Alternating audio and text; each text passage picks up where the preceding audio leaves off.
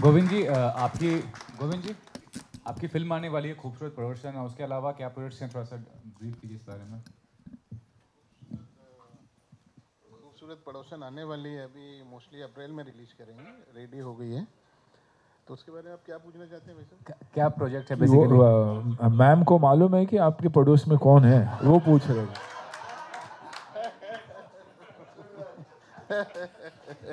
थोड़ा उस प्रोजेक्ट के बारे में बताइए और और भी कोई प्रोजेक्ट तो उसके बारे में बताइए थोड़ा। साल में तीन फ़िल्म बनाने का टारगेट है। अभी हम मार्च में या फरवरी एंड में एक दादा का पुराना पिक्चर था, मैं दीवान हूँ तेरा उसको रिलीज़ करेंगे। उसके बाद अप्रैल में खूबसूरत पड़ोसन को रिलीज़ करेंगे। उसके बाद अप्रैल मार्च में एक और पिक्चर फ्लोर पे जाने वाली है। तो साल में तीन फ़िल्म बनाने का हमारा टारगेट है, वो पूरा करने की कोशिश भी करेंगे। कितना चुनौतीपूर्ण था कितना इमोशनल था? या ऑब्वियसली बचपन से पिताजी के साथ काम किया है अरेंज किया है उनके लिए वीडियोस किया है। डैडी के साथ I think most of my you know time has always been with dad you know managing him his work अभी वही बहुत आयरॉनिक है कि अभी रीगो के साथ काम करना मतलब uh, एक अलग ही एटमॉस्फेयर था। बट ऑब्वियसली बहुत मिस करते हैं डैडी को. Uh, उनके साथ उनका जो एक प्रेजेंस था बहुत इम्पोर्टेंट था. उनका ही it was his idea that उनको ऐसे कुछ करना था because he always like inspired western music उनका ऑब्वियसली बहुत फेवरेट था और uh, वो चाहते थे कि uh, रेगो भी ऐसे गाए और he has done a great great job बहुत ही अच्छा uh, आजकल के एक्चुअली यू नो हम बचपन से मैं आठ, नौ साल का था, तब से हम लोग गाना गाए शोज़ किए हैं। तब के टाइम डिफरेंट था। आजकल के बच्चे I think they are new age new generation इनका हाइब्रिड है। इलेक्ट्रिक गाड़ियाँ जैसे ये लोग। ये लोग एक बार लगा दो, चालू हो गए। हम लोग बहुत अलग टाइम के थे तो we were We were still learning and you know working out but आजकल के बच्चे is very fast you know they learn fast they quick they very camera friendly talk you know so I mean social media का time है so they all know it ज़्यादा मेहनत नहीं करना पड़ा thank you so much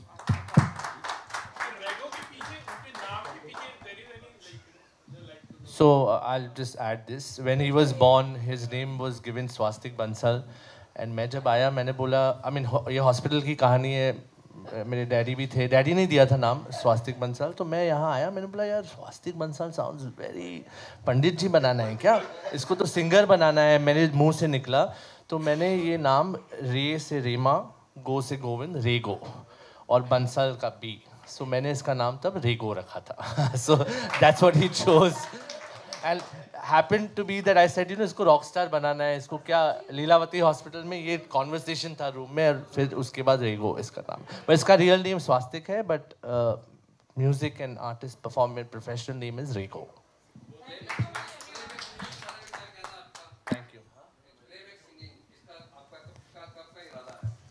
Rego हो चुका है? Uh, so आज my dad's really uh, movie is releasing in this March or this April. उस उसके जो गाने उसको दो लाइन गा सकता हूँ? नोट देकर वोट लिया जीता इलेक्शन नेता बना सबको कुर्सी से गिरा दिया सीएम के कुर्सी से चिपक गया। सेवा सेवा सेवा जो करेगा पाएगा मेवा। सेवा सेवा सेवा जो करेगा पाएगा मेवा।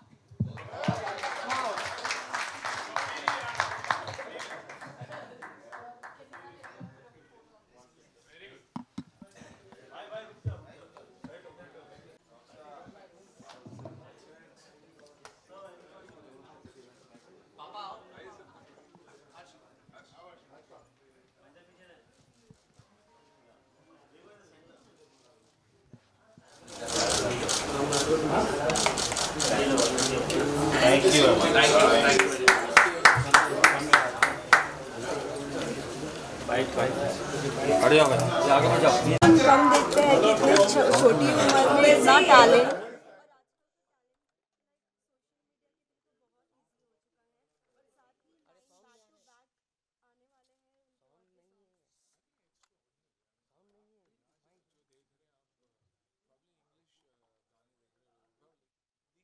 से भी आप सुनोगे या क्लासिकल भी सुनोगे ही इज़ अनबिलीवेबल एक छोटी सी एग्जीबिशन उन्होंने दे भी दी you know and it's the level of confidence that he has and and his hold on music his hold on on on on lyrics and everything very very talented so brilliant brilliant i'm so happy for him because i've seen him uh, you know and i've heard him तो मैं सिर्फ़ uh, एक एक family और एक दोस्त की हैसियत से बंसल जी के ऐसे नहीं आया हूँ आई genuinely come because I care and uh, you know, would, would like to make time for it. As you know, sir, what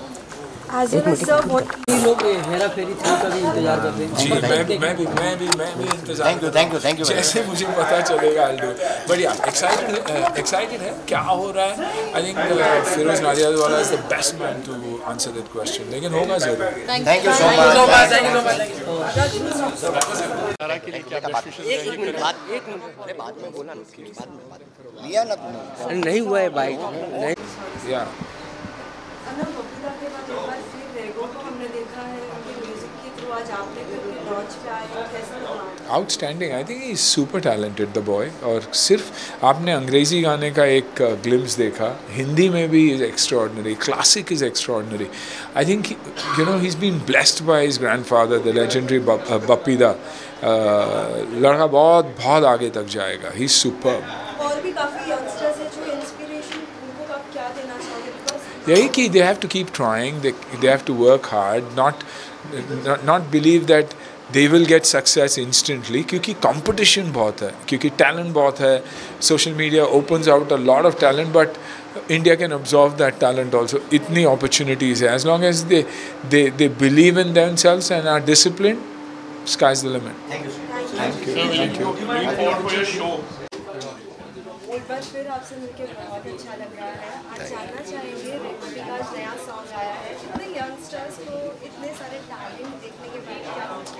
इन बच्चों को देख के बड़े बच्चों को सीखने का मौका मिलता है, ऊर्जा मिलती है अच्छा लगता है कि ये ब्लेसिंग है और इसको पता नहीं कैसे, क्योंकि रेगो को जब पहली बार मिला था, लंदन में मिला था, इनके साथ में खाना खाया था तो इस बच्चे में कुछ अलग ही जो थी ऊर्जा थी और कुछ कर गुजरने का जो होता है ना कि हर बच्चे का एक सपना होता है। तो मुझे लगता है ये बहुत ही एनर्जी से हमसे मिले थे और इन, इनके माँ बाप इनके साथ थे गोविंद जी और रीमा जी। तो उसी समय हम लोग इनको बहुत इन्जॉय कर रहे थे और आज ये तेरह साल के हो गए हैं इनका अब संगीत की दुनिया में इनका जो है पदार्पण हो रहा है। और मैं कुछ बस यही दुआ कर रहा हूँ बस यही बधाई देता हूँ कि भगवान इनको आकाश की ऊंचाइयाँ छुआए और बस ये खूब इंटरनेशनली नेशनली खूब संगीत के माध्यम से जो है जो इनका ख़जाना है इनके अंदर उसका लोग खूब इन्जॉय करें। तो हमें सरप्राइज़ दे दिया है लेकिन आप भी बहुत जल्द शहजादा से बेटी को आ रही है। किस तरीके का एक नया किरदार देखने मिलेगा कुछ तो बताइए। बिल अब मैं मुझे जो भी किरदार मिलता है उसको ईमानदारी करने की कोशिश करता हूँ हमेशा। और शहज़ादा में जैसा कि रोहित धवन उसके डायरेक्टर हैं उन्होंने जहाँ पे हमारी ज़रूरत पड़ी क्योंकि डेविड धवन साहब ने हमेशा पिछले 20 साल से अलग अलग रोल्स में जो है हमें यूटिलाइज़ किया है। और अब रोहित धवन की फ़िल्म है, उनके साथ भी हिस्सा होने का सौभाग्य मिला। मैं पूरी तरीके से, जो है, यही दुआ कर रहा हूँ कि खूब शहज़ादा लोगों के दिलो दिमाग में खूब इंजॉय करवाए सबके ब्लड सर्कुलेशन अच्छे करवाए और सब इंजॉय करें और खूब अप, अपने अपने बच्चों के साथ अपने अपने बूढ़ों के साथ।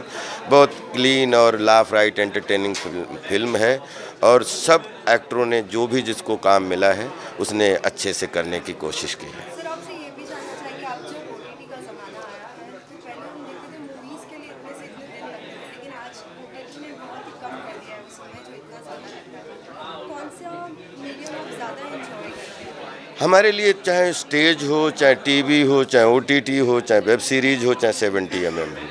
हमें हमारे लिए हर प्लेटफॉर्म पे अलग अलग काम करने का आ, मौका मिलता है हमारे लिए यही सौभाग्य की बात है। और अब अब जैसे शूटिंग डेज़ भले ही कम हो गए हों, लेकिन प्री प्रोडक्शन की तैयारी बहुत ज़्यादा बढ़ गई है। और जितना ज़्यादा बोलते हैं कि आप कोई भी छलांग मारें तो उससे पहले जितनी प्रैक्टिस कर लें तो आई थिंक वो उतने रिज़ल्ट अच्छे आते हैं। तो ये भी अच्छा है कि पहले फ़िल्म करते थे तो बहुत सारे रीटेक करने का सौभाग्य मिलता था। अब लेकिन, अब जो है, अगर फ़िल्म करने से पहले जो है आपको तैयारी करने का बहुत अच्छा सौभाग्य मिल जाता है। तो आई थिंक सिनेमा ओटीटी सबकी अपनी अपनी एक प्लेटफॉर्म है और सबकी अपनी अपनी एक बाउंड्री है और बाउंड्री में जितना अच्छा आप करने की कोशिश करते हैं, वही ठीक है। ना कोई फ़िल्म ज़्यादा दिनों में बनती है, ना कम दिनों में बनती है। फ़िल्म का एक जो क्राफ्ट है, वो बगैर किसी कॉम्प्रोमाइज़ के प्रॉपर पूरा हो जाए, बस उसकी कोशिश होनी चाहिए। हाँ बहुत सारे इस, इस साल आपको अच्छे कैरेक्टर्स देखने को मिलेंगे। कई सारी फ़िल्मों में अच्छे कैरेक्टर्स करने का जो है मौका मिला है। कोशिश कर रहा हूँ कि सब अच्छे हों और बिल्कुल न्यू बोलते ना बिगिनर की तरह काम कर रहा हूँ।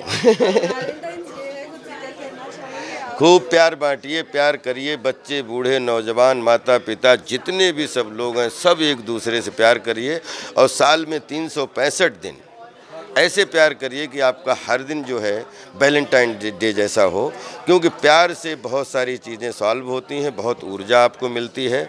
और मैं चाहता हूँ कि हर मिनट हर सेकेंड आपका जो है, वो होना चाहिए एक प्यार दिवस। Thank you